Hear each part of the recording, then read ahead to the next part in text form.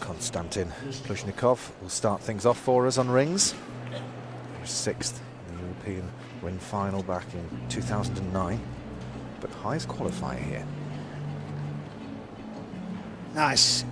Packing lots of strength at the early phase of the exercise. Good low, inverted cross, and again swinging to inverted cross as we were saying earlier. That's the way to build.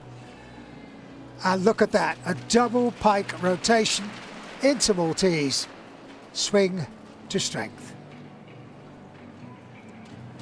That inverted hang position so important. They wait a long time because they're setting up to get the swing absolutely under control. Lovely top plunge. Swing to handstand, no problem. Good discipline with the rings. Full twist in the double straight. I'm telling you, that was one of the best ring routines that Pluzhnikov has ever produced.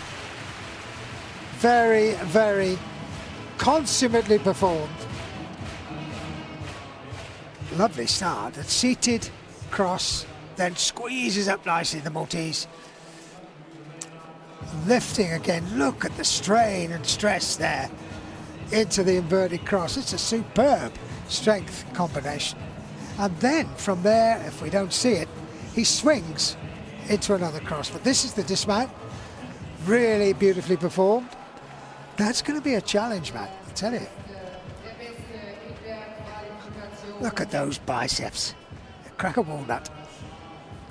15.85. That is mammoth. That's a huge score. Look at the execution. Yeah.